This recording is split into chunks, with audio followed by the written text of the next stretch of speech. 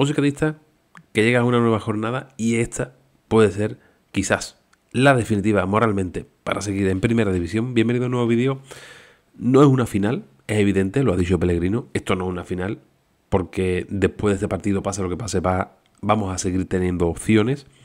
Lo que pasa es que esas opciones cada vez van a ser más pequeñitas. Si ya es complicado, si ya la cosa está muy difícil, muy difícil, el hecho de no ganar lo complicaría mucho más. Y el hecho de perder ya que no lo digamos más, porque eh, sería eh, ponernos a seis puntos con gol haberás perdido algo pues bastante, bastante complicado, ya muy difícil del todo. Ya el empate no es un buen resultado, eh, incluso, e incluso la posible victoria del Cádiz, una victoria ansiada que necesitamos ya porque llevamos, llevamos 20 partidos de liga sin ganar, 22 si contamos los dos de Copa del Rey, necesitamos ya hacer de tres. Esos tres puntos además nos sacarían de, la zona de descenso de manera sorprendente, porque un equipo que lleve 20 partidos seguidos, que ganando uno consiga salir, es tremendamente, bueno, pues extraño, es muy extraño eh, que estemos tan cerca. La victoria, sin duda, lo que haría no solo es esa puntuación y salir del descenso, sino creo que también desbloquear un poco al equipo mentalmente, porque yo creo que no somos tan malos pero sí estamos muy mal eh, anímicamente. Y creo que aquí ya hay que empezar a echarle un poco las culpas a, Pellegrino. Y siento ponerlo ya en el, en el centro de la diana.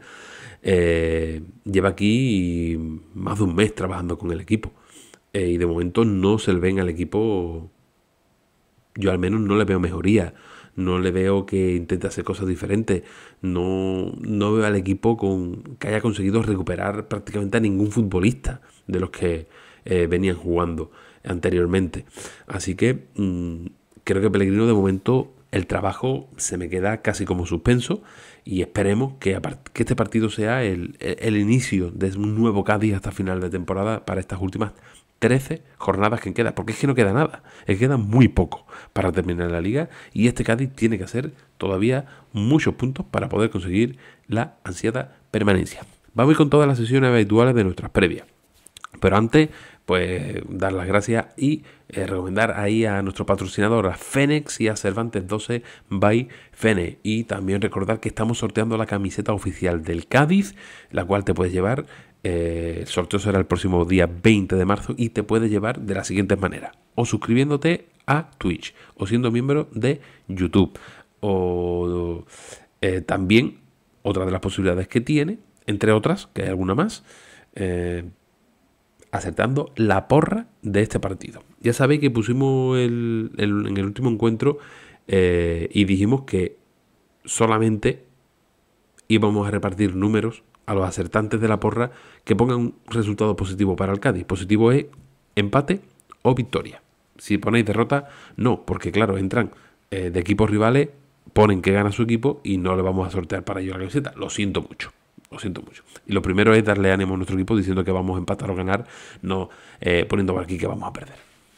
De momento, en lo que la convocatoria se refiere, aún no la tenemos, pero sabemos ya seguro que no eh, va a estar ni Lucas Pire ni Fali. Descartados. Ledesma se ha recuperado a última hora. En principio está para ser titular. Ya veremos si es titular o si no es titular. Y también, pues bueno, tenemos bastante duda con respecto a la alineación, qué alineación, qué alineación puede llegar a poner Pellegrino y también en el sistema táctico. Después iremos con ese posible equipo titular de Pellegrino. El eh, Celta que viene un equipo que llega con muchísimos problemas, ¿no? Un equipo que está tan solo tres puntos del descenso, que sabe que si pierde se meten en ese boquete. Creo que es un equipo que podría tener más puntos de los que tiene porque creo que ha jugado, ha tenido tramos de la temporada que ha jugado bastante bien y que ha tenido mala suerte, una vez con los árbitros, otra vez con el VAR, otra vez en sí mismo que se le ha ido partido en los últimos minutos. Em, el Celta que puede, podría jugar con Guaita de portero, eh, Manquillo o, Mingueza. Aquí ponen a Mingueza como lateral, también puede jugar como extremo. Cuando ha jugado de extremo lo ha hecho bastante bien, además un futbolista muy peligroso. Muy peligroso. Núñez, eh, y Manu Sánchez, lateral izquierdo, que parece casi seguro. En la defensa puede ser una defensa muy parecida a la que vemos aquí. Eh, Beltrán, eh, con Renato Tapia en el centro del campo, en el centro del ya en las medias puntas de la torre y Allende, aunque puede ser Mingueza perfectamente que juegue por ahí, y el, eh, en punto de ataque Larsen y Iago Aspas, que son, bueno, pues dos de los futbolistas, como, como, como bien sabéis, pues eh, de más nivel de, este equipo, sobre todo Iago Aspas, que es un futbolista pues bastante top. Un Celta que, como bien decimos, creo que Benítez se está jugando el puesto, probablemente si pierde mmm, lo pero como digo, es un equipo que tiene desde mi punto de vista, 7, 8, 9, 10 puntos menos de lo que debería de tener. Y con esos 10 puntos más prácticamente estaría salvado virtualmente. Lo que pasa es que las ligas vienen como vienen. Eh, también en ese 11 podemos ver a jugadores como Bamba, por ejemplo, que, que puede que tengan eh, protagonismo en este partido. ¿Y el Cádiz? ¿Cómo llega el Cádiz? Bueno, pues llegamos, lo he comentado antes, ¿no? Con un equipo que creo que hay que agitarlo más todavía, que creo que hay que hacer mucho más cambio en el, en el 11, que creo que, que tenemos que juntar a más futbolistas de nivel, de calidad en ataque y eso no se está haciendo de momento. Aunque ya en el último partido se puso a Juanmi junto a Robert, ahí ya hay una buena asociación.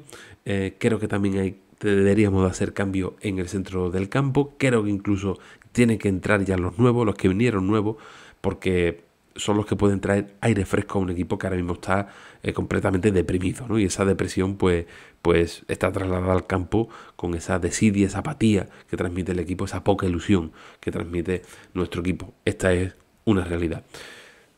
Esto es lo que yo pienso que va a poner el Mister. El portero vamos a dejarlo en duda, ¿no? Porque es verdad que Ledesma ha entrado ya a última hora, entrará en convocatoria casi seguro, pero bueno, David Gilo Ledesma, según cómo se haya recuperado de esa lesión tan fugaz.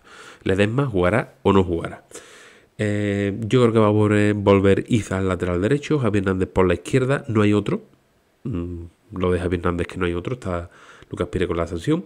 Eh, el centro de la defensa, tengo dudas. Pongo Chus y Meré porque lo hicieron en Villarreal y no lo hicieron mal. Pero perfectamente creo que puede jugar Chus junto a, Oso eh, y, y, que juegue a Ian ya de defensa porque es uno de los nuevos y, lo lógico, creo que tiene lógica, de que empiecen a entrar ya los nuevos, que se han fichado para ayudar al equipo, no para que al final no tengan ni un solo minuto. Lo mismo pienso en el centro del campo. Pongo a Rubén Alcara y Escalante porque pienso que el míster va a sacar esto, pero yo ponía ya a día 10. Que juegue de titular, que juegue minutos día 10. Necesitamos gente que ofrezcan cosas diferentes. Tres medias puntas, yo creo que vamos a volver al 4-2-3-1. Em, yo pongo aquí a Robert Navarro, Juan y Alejo pero yo sinceramente ponía a Juanmi por la izquierda, ponía a Robert Navarro por la derecha y de media punta si metía un tribote con otro centrocampista. En este caso puede ser perfectamente que juegue Rubén Alcaraz Escalante y día 10, o que jugase Cuamé, pero es verdad que Cuamé no está contando, o incluso que jugase Alex por juntar a gente que tiene un trato un poco más aceptable de balón que los Alejos, Sobrino, etcétera, o Chris Ramos incluso, que no me está gustando. Eh, al menos en estos últimos partidos. Y en ataque pongo a Chris Ramos, aunque no me importaría que jugase otro futbolista. Llámese Maxi Gómez. Sabemos que Maxi está perdido, muy perdido, pero bueno, por juntar jugadores de más nivel y además Maxi tiene el añadido de que juega ante sus equipos. Igual tiene esa ilusión o tiene esa motivación extra que puede ayudar al equipo. Pero como digo, digo, he dicho muchas variantes, pero al final pienso que el 11 va a ser más parecido a esto que veamos que a lo que he comentado que a mí me gustaría el ver. Este es mi posible 11. Tenéis ahí los comentarios para decirme, Diego, no tienes ni idea, o Diego, yo pondría esto, o Diego, yo pondría el otro, o estoy de acuerdo contigo. Llega el momento porra, ya sabéis, podéis ganar la camiseta del Cádiz. Si aciertas el resultado, entras en el sorteo y si además, con un numerito que te doy, y si además aciertas los goleadores, en el caso de que haya goles, tiene un numerito extra. Así que ya sabes, eh, Fenes que está sorteando esta camiseta oficial, la oficial del Cádiz, a elegir entre la primera, segunda o tercera. Yo voy a decir que ganamos, porque hay que ganar ya. Y que ganamos dos goles a uno. Recibimos gol, pero hacemos dos. Que ya es hora de que veamos goles del Cádiz. Vamos a darle los goles uno Maxi, la ley del ex, y el otro vamos a dárselo, eh, pues, ¿por qué no a Chris Ramos, ¿vale? Para que vaya recuperando eh, energía y, las ganas y sobre todo ese estado mental tan bueno que tenía al principio de temporada. Y ahora te toca a ti. Te vienen abajo los comentarios, resultado y goleadores y puedes entrar en el sorteo de esa camiseta oficial del Cádiz. Y hasta aquí, cracks, que va a ser un partido muy bonito, que se va a ver seguro un gran ambiente, que va a estar el estadio lleno a rebosar y que esperemos que cuando acabe el partido y por la noche nos veamos aquí en directo con una sonrisa y celebrando una victoria del Cádiz después de muchísimos meses. Ya he perdido hasta la cuenta. Nos vemos ahorita en un vídeo nuevo. Ese Cádiz. Oye.